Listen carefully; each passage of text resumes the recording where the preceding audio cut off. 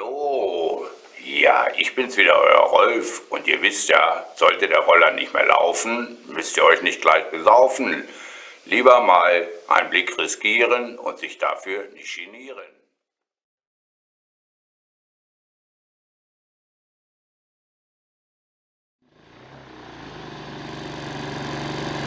Ist diese ganze Geschichte in Ordnung? Geht hier das Licht? Kontrollleuchten erstmal. Da sehen wir die grüne Kontrollleuchte, leuchtet, das Licht geht. Dann gucken wir mal, Hupe. Geht auch. Fernlicht geht auch, die Kontrollleuchte ist auch an. Dann sehen wir hier, wie warm ist er. Und so, wie viel Benzin ist noch drin, hier an der Seite. Diese Anzeichen funktionieren alle, die Anzeigen, das ist ganz wichtig, weil sonst müsst ihr euch rumärgern, bleibt stehen, weil kein Sprit mehr da ist und, und, und.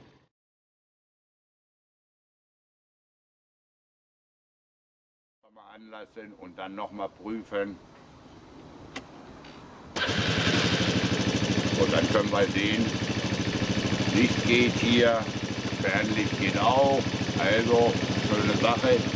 Hier auch mal gucken, alles stabil, die Griffe sind nicht verlutscht, nicht abgebrochen und ähnliches. So, dann überprüfen wir die gleiche Geschichte hinten.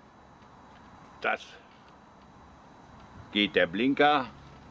Sehen wir, ist hier, geht auf der Seite, geht der Blinker auf der anderen Seite, geht auch mal dran rütteln, dass die fest sind, da wird auch gerne dran rumgebastelt. Dann gucken wir, geht das Bremslicht. Geht, das ist schon mal gut.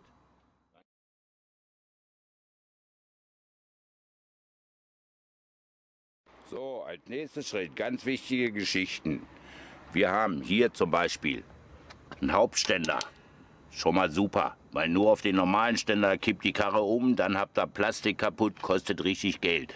Ganz wichtige Geschichte. Dann gehen wir weiter, gucken einfach mal, ganz wichtig, Bremsscheibe, wie sieht die aus? Die sieht noch verhältnismäßig gut aus. Ist hier irgendwo Öl, vielleicht von den Stoßdämpfern, dass die kaputt sind?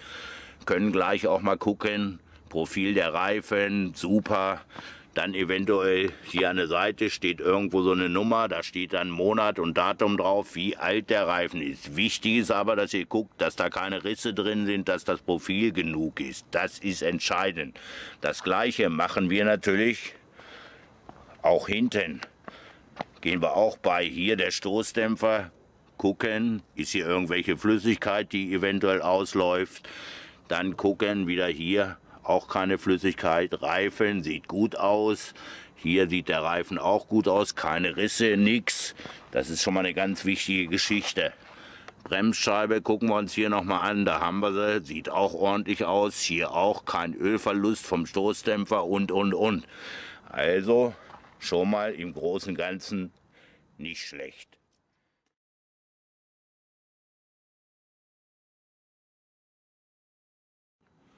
So, also die Beleuchtung haben wir gescheckt, die Armaturen haben wir auch gescheckt. Jetzt ist ganz wichtig, wir gucken mal hier Auspuff. Weiß ja jeder, wo der ist. Ist das der Originalauspuff? Da guckt er mal hier rein. Ist da irgendwo untergeschraubt oder so ein Kram? Müsst euch eventuell auch mal hier drunter legen und nach unten gucken. Da könnt ihr gleich sehen, sind diese Schrauben, die wir hier überall haben, so wie hier sieht man.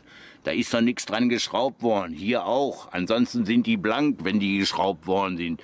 Da dann wissen wir schon mal, dass der nicht so viel drum rumgeschraubt hat. Fußrasten für den zweiten. Hier Fußrasten für den zweiten auch wichtig. Gucken. Die müssen fest sein. Nicht, dass er den verliert unterwegs. Ganz wichtig, hier diese ganzen Schläuche. Die müssen alle fest sein und müssen alle dicht sein, weil das ist ein Unterdrucksystem. Und wenn da irgendwas nicht dicht ist, springt die Karre nicht mehr an oder läuft wie ein Bund Wurzeln.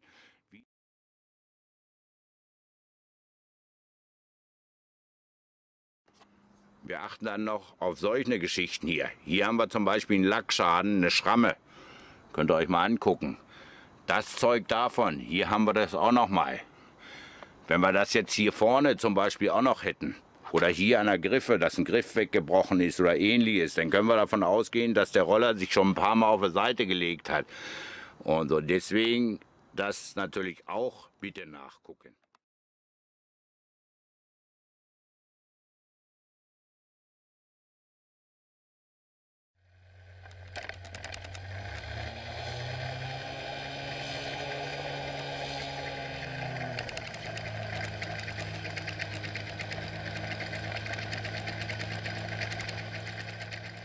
Liebe Leute, das war also diesmal der Scheck, wenn ich mir einen gebrauchten Roller kaufen will. Ganz wichtige Details habe ich euch hoffentlich gezeigt. Ich hoffe, ich habe euch nicht zugesülzt. Achtet so ein bisschen darauf, weil wenn ihr erstmal so ein Ding gekauft habt, habt die Asche hingelegt, müsst ihr hier auch hart für arbeiten. Dann habt ihr die Arschkarte. Ich kann nicht fahren, kriege so einen Hals, die Schwuchtel, werde noch wütend. Das bringt alles nichts. Also vorher angucken, wenn wir ein gutes Gefühl haben dabei, den Roller kaufen. Ansonsten nur kaufen für kleines Geld und wenn ich selber schrauben kann. Bis zum nächsten Mal, euer Roller Rolf. Bis dann. Ciao.